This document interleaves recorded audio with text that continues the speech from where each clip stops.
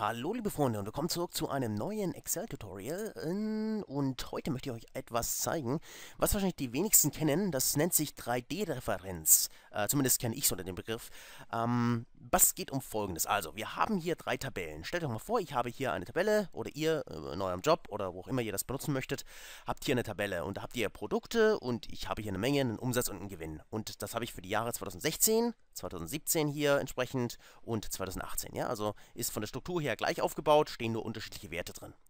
So, und jetzt haben wir hier noch eine neue Tabelle und ich möchte jetzt gerne das Ganze aufsummieren. So, in einer Gesamttabelle als Beispiel, ja? Dann kennt ihr ja sicherlich, klar, ich könnte jetzt folgendes machen und jetzt möchte ich erstmal das erste zeigen. Ich könnte mir ja hier einfach sagen, weil die sind jetzt von der Struktur her gleich aufgebaut, ja?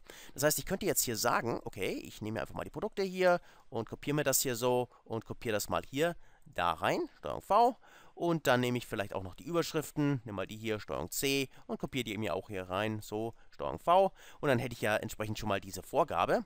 Und dann könnte ich ja sagen, in dem Fall ganz normal, ist gleich. Und dann sage ich eben 2016 diese Menge und dann nehme ich ein Plus einfach hier in dem Fall und sage 2017 diese Menge und nochmal ein Plus. Und das könntet ihr auch mit der Summenformel übrigens machen, wenn ihr das machen wollt. Ja? Und 2018 entsprechend auch nochmal das hier.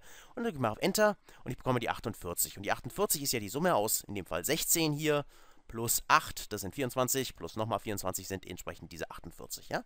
Also es funktioniert. Und dann könnte ich ja, weil ich ja hier einen einen Bezug habe, könnte ich ja das Ganze entsprechend auch zum Beispiel hier rüberziehen und könnte mir das Ganze dann hier runterziehen und dann hätte ich ja meine fertige Tabelle. Ja? Also so könnt ihr das machen natürlich. Äh, jetzt ist es natürlich so, ähm, die eine Möglichkeit ist, wie das schon mal schneller gehen würde äh, bei Default, also ähm, standardmäßig ist folgendes. Und zwar, ich hatte ja jetzt hier das Ganze so erstmal als äh, Text kopiert und nicht als Tabelle schon. So, das heißt, ich könnte jetzt auch, ich lösche das mal wieder raus, Steuerung Minus, so, und gehe jetzt mal hier rein und nehme mir mal die gesamte Tabelle. Ja? Steuerung C, kopiere die mal und werfe die mal hier rein, Steuerung V. Und jetzt habe ich hier eine Tabelle kopiert. Ich nehme das hier raus, das brauche ich nicht, das möchte ich ja berechnen.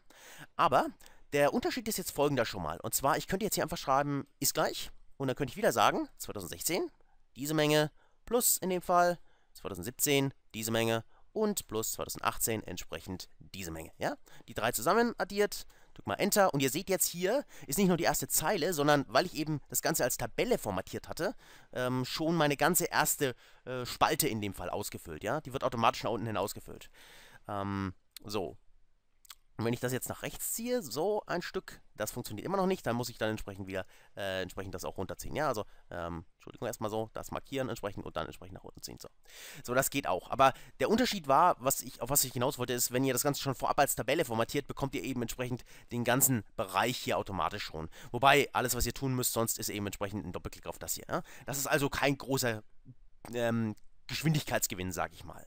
So, was ich jetzt zeigen wollte, war diese 3D-Referenz, die es gibt. Und die sieht folgendermaßen aus.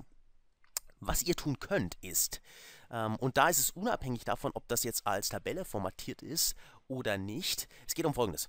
Wir haben hier ja drei Jahre, 2016, 17 und 18. So, und wir hatten das immer so gemacht, dass ich entsprechend sage, ist, also hier ein ist gleich reinschreibe, so, und dann sage ist gleich und jetzt eben wähle ich das erste Blatt aus, markiere die Zelle, mache ein Plus hin und gehe zur nächsten Zelle. Ja? Und das mache ich halt, bis ich alle meine Tabellenblätter durch habe, damit ich das entsprechend aufsummieren kann hier. Jetzt ist das natürlich für drei Blätter, weil ich, ich gebe es zu, ich war faul in dem, in dem, ja, in der Hinsicht, ich habe nur drei Blätter erstellt. Aber jetzt ist das natürlich, falls ihr jetzt hier vielleicht eine Excel-Datei habt mit, mit 100 Blättern, ja, und das kann vorkommen, ja, also je nachdem, wo ihr arbeitet, aber wenn ihr in der Beratung arbeitet oder so etwas, ja, dann kann ich euch nur ähm, aus der Erfahrung sagen, dass Excel-Dateien können sehr, sehr, sehr groß werden. Und dann sprechen wir ja nicht über drei äh, Blätter, die ihr vielleicht habt, sondern vielleicht, wie gesagt, eben über 100 oder noch mehr. Und dann stellt sich ja die Frage, ja, möchte ich jetzt wirklich jedes einzelne Blatt durchgehen und dann mit dem Plus verknüpfen, nur damit ich hier irgendwann mal eine Summe habe? Ja? Nein, das möchte ich natürlich nicht.